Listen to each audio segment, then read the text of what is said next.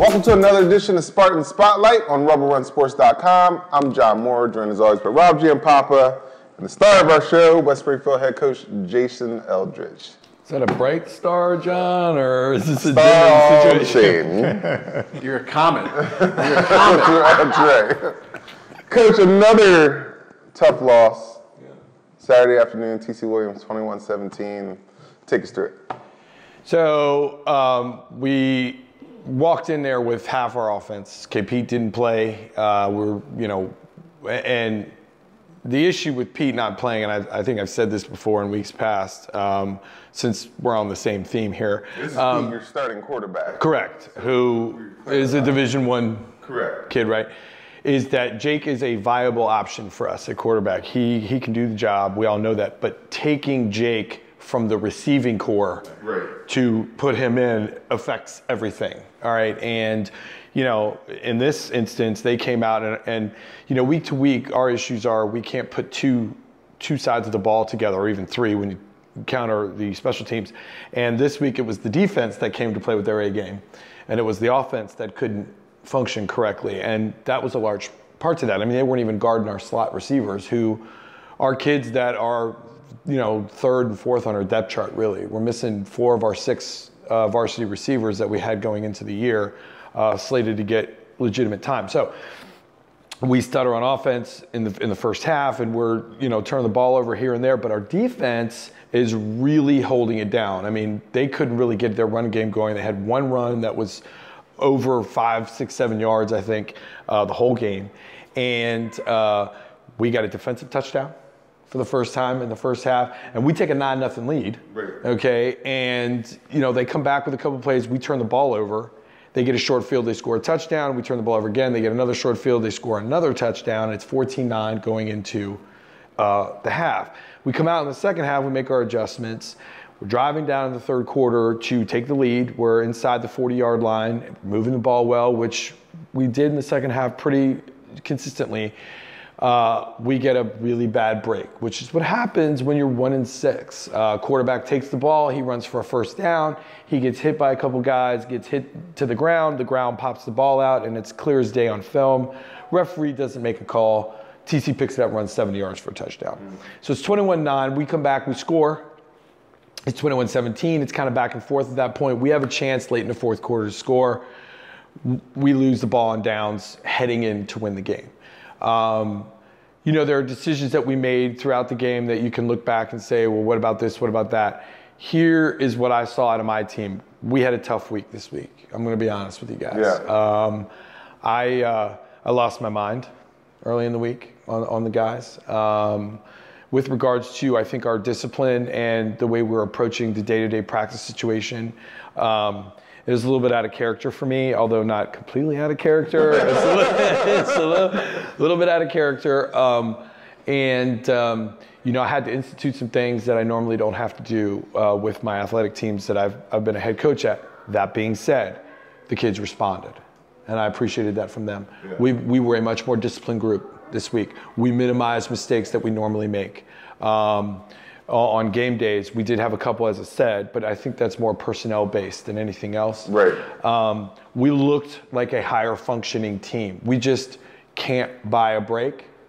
And, you know, we do little things here and there to cost ourselves um, opportunities. And here we are yet another week, and we gave ourselves a chance to win. And I expect this to. This is probably the way it's going to go for the rest of the year. My hope is that you know we had a really good week of practice after the initial stages of the week. I hope we do get better this week, and I think you're going to find us in games moving down the stretch. Whether we win them or not, that's another Right. story. If we can find a way to get a win, who knows? Um, you know, we're just trying to take it day by day at this point. So tough, tough loss, tough loss for us. Well, you know, a lot of people don't see this side of, No. of coaching. No, they don't. They see, you know, oh, well, these guys get to go, coach football. They, they get to do this. They get to do that. But they don't see the tougher side of the coaching. Yeah. How tough is it on you personally? I mean, obviously it's tough on the team, it's tough on the you know the situation, but how tough is it? And I don't mean to br- I don't mean to bring No, up any like negative not. things, but how is- tough is it personally? You know, I appreciate this show because I think people that watch it need to understand the other side of coaching. I mean, you know, it is real easy to be motivated and speak highly and be energetic and lively when you're six and one, which we've been before, uh, and, and running through uh, games on your on your way to a, um, a playoff situation. That that's an easy thing to do. What's not so easy is to keep your discipline and your work ethic when things aren't going well. And I think, you know, for me, in 13 seasons as a head coach, I, I have won eight Coach of the Year awards at every level, uh, from the district to region and state, multiple times at each, at each point. And I, I, don't, I don't accept losing. I don't find it to be something that I, I work for. But here's the deal you are what you are based on the personnel that you have, the circumstances that you're under. I mean, we have some infrastructure circumstances that we cannot control that affect things as well with these kids.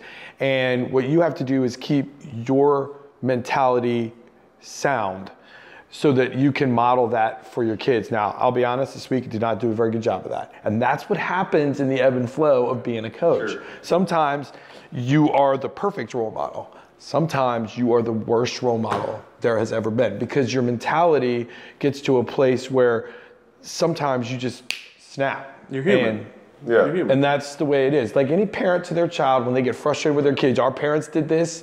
You know, you talk about it all the time, John, coming growing up in Philly. You know, you had a foot up your rear end Yeah. when things didn't go well. I was also parented very militantly, where if I don't do exactly what I'm told, I'm going to get my rear end kicked. So this is what you have to muscle through and you also have to get up every day and continue to move forward so my speech to the kids afterwards is not about this is what we did wrong this is why we can't win it's more this is what's coming up next week and you have to kind of manage that mentally and that's the hardest thing to do in life. I'm telling you guys this because you are getting a firsthand view of it with your job right now. And i know you see a lot more winning people than losing but to be in a losing situation and have to to be the better person and keep working is a life skill that honestly these kids will take with them hopefully and it will help them more than Right. say the winning if that makes any sense a lot of times when you win a lot when you face failure you don't know how to deal with that i think these guys will be able to face failure directly and respond. I just do that. I mean, I feel that way. They're good kids still. They know I love them. I don't know that they know that completely after this past week, but I, I'm going to go on record as saying, you know, I wouldn't want to be with any other team right now. One and six, fine. You know, we'll, we'll make it through. Can't make the playoffs every year, I guess. I, I hate that, but you know, that's that's the way it is. And if we put a run together, and John, I heard you picked us this week. I did. That's, Let's that's my Bowl. next question. so, one and six. I unfortunately have been in a situation similar to this when I played at Flint Hill before I transferred See, to I haven't. I've never been here. And we had a game against, um, I believe it was Georgetown Prep, who was one of our big rivals back then, and they were a power. And we came in there and we did really well. So we used it as we knew we weren't going to any playoffs or anything like that, but right. we got up for that game. Out, you know, the expectations from the season aside now, Right. when you have a game like this, you have Lake Braddock this week. Everyone tough- is another writing team. you off in Absolutely. this game. As kids they it. should. Stop looking at me. should. Look at me. I, I, I wasn't pointing out anybody in particular, but I'm just saying. Where we are in our relationship. I'm out here. No. But I said in our Rubber Run Sports Show that you guys have too much quality of kid and coaches on that staff.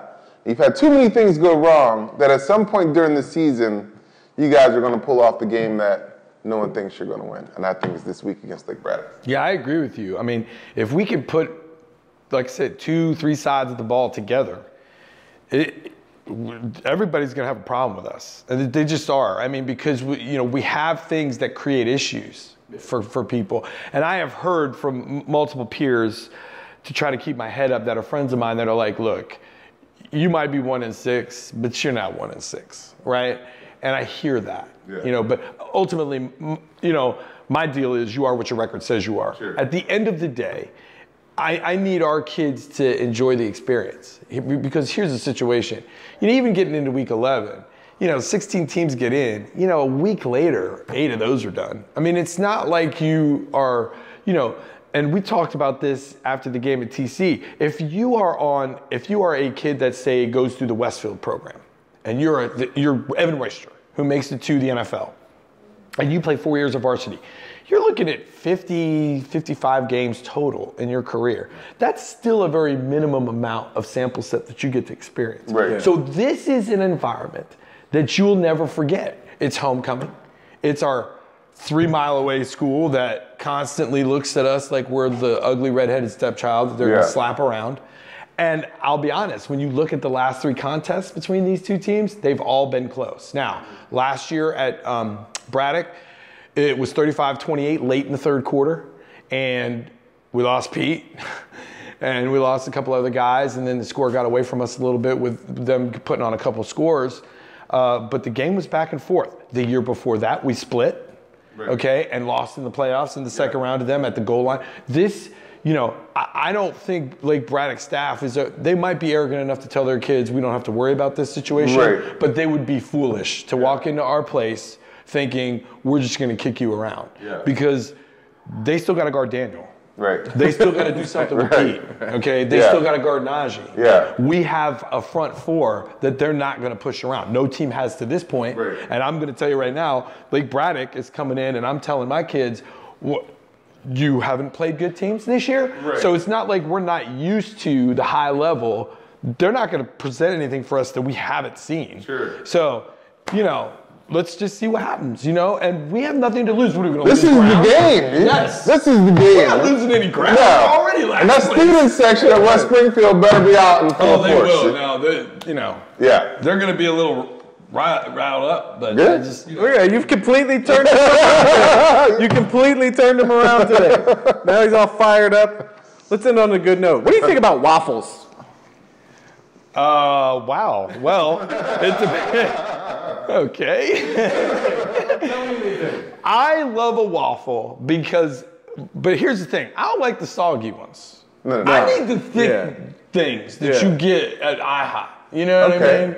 And I'm not into the fruit and whipped cream deal. You just want I- straight I just want syrup and butter. This is why, if you've ever tried Waffle Crisp, the cereal, Uh. do it. You are you are going to taste Crisp. the buttery, syrupy crunch of a waffle in a cereal. Waffle Crisp, Waffle check it Crisp. out. Waffle Crisp, check it out. Is that with whole milk or skim? I do whole. Come Whole? on, Okay. John. You Yeah, do whole milk too. Look at Not you. anymore. You don't look like you do skim milk. whole milk. I mean, 350 pounds. Oh, that's awesome. All right, well, Coach, always a pleasure. We will definitely look forward to the game this Friday and talking to you next weekend. Yeah. Um, Coach Jason Eldridge, Rob Giampapa, I'm John Moore. This is Spartan Spotlight, and we'll see you next week. Thanks for listening. Waffles. Waffle.